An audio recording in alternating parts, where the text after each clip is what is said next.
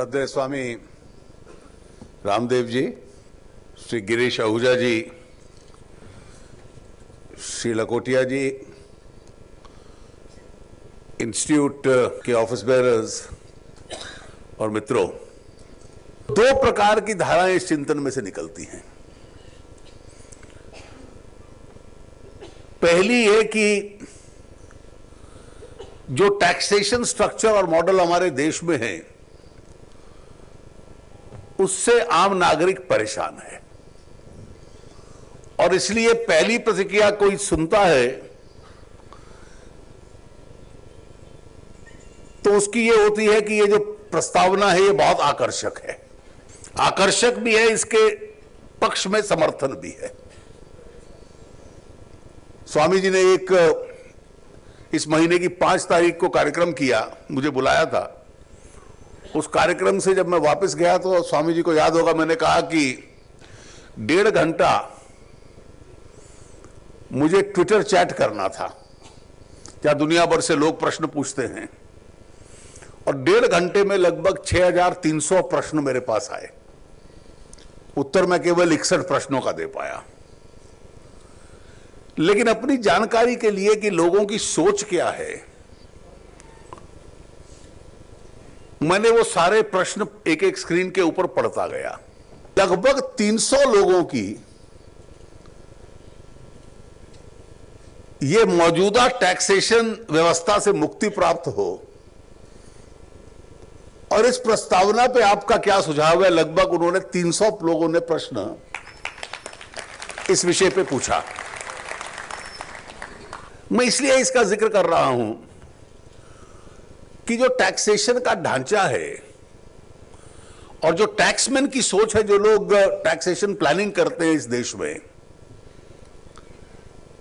वो बहुत अब सरल प्रकार की सोच बन गई है। और सोच है कि जो व्यक्ति टैक्स देता है जहाँ जहाँ आप उससे टैक्स ले सकते हो you must take the tax So almost every point of your economic activity is to be taxed.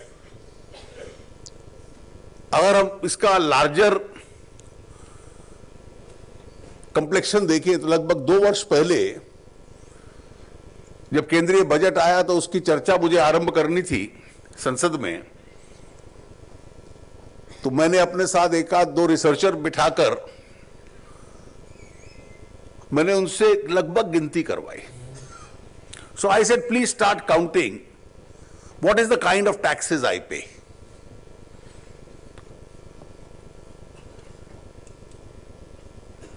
Whatever I earn, I will have to pay tax.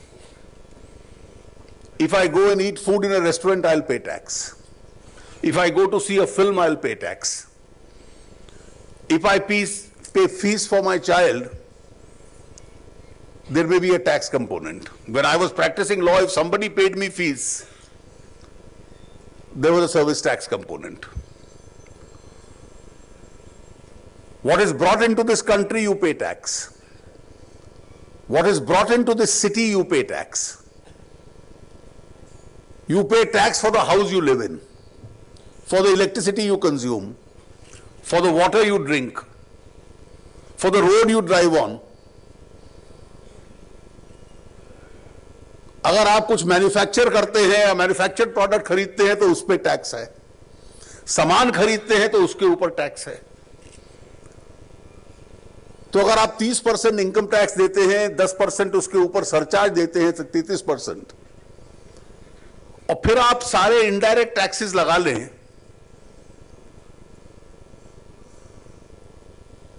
तो लगभग 60 फ़ीसदी से ऊपर डायरेक्ट इनडायरेक्ट टैक्स की दुनिया में आप चले जाते हैं।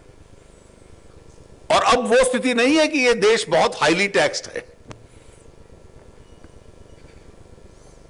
आज अमेरिकन आर मोर हाईली विशेष रूप से जो अमेरिकन कुछ स्टेट्स में रहते हैं, जो मैनहटन में रहता है,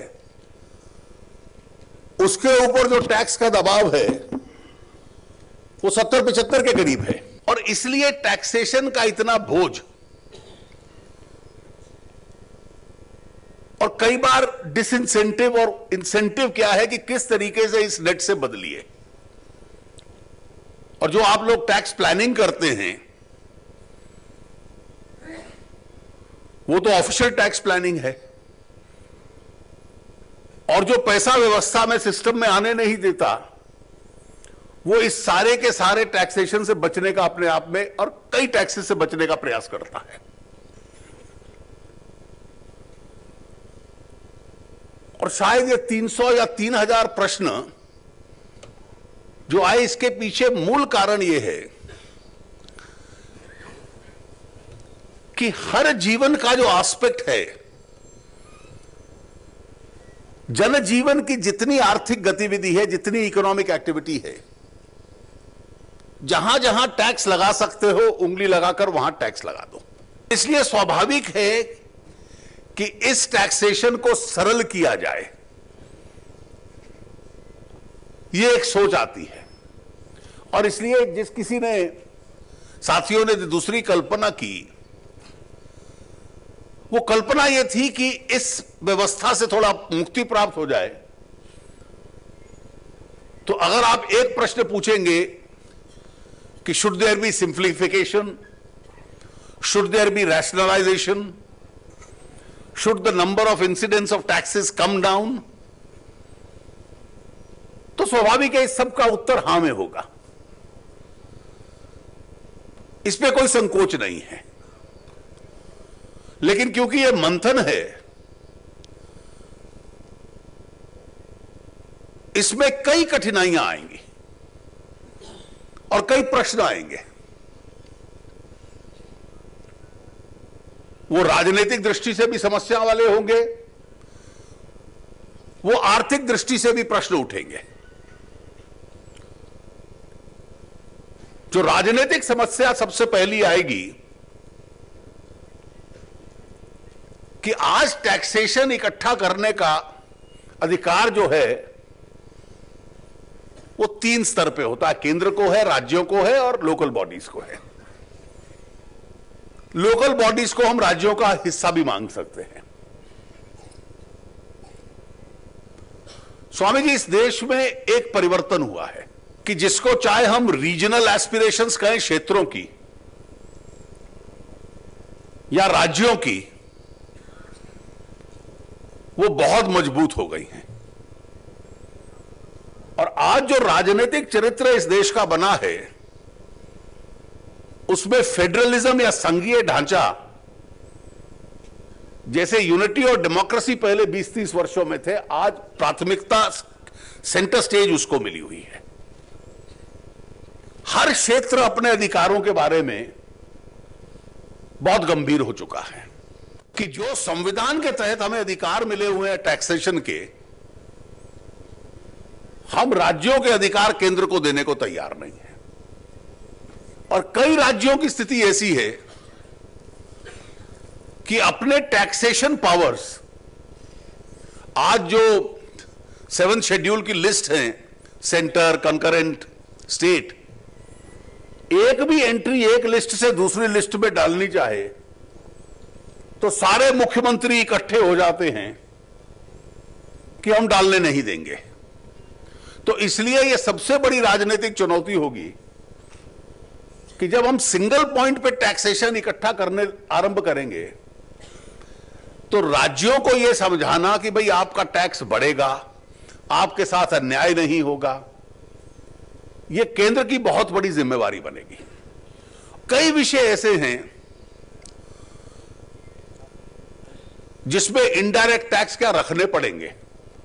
इन सबको इस सिस्टम के तहत आप कैसे वर्कआउट करते हैं? इससे इससे इससे एक गंभीर चिंतन और इसमें से कोई वर्केबल मैकेनिज्म बने, तभी वो तभी वो जाकर एक चर्चा के लिए उसको प्रेजेंट कर पाना अपने आप में संभव होगा। इस वक्त अगर मैं बड़ा चित्र इसका करूँ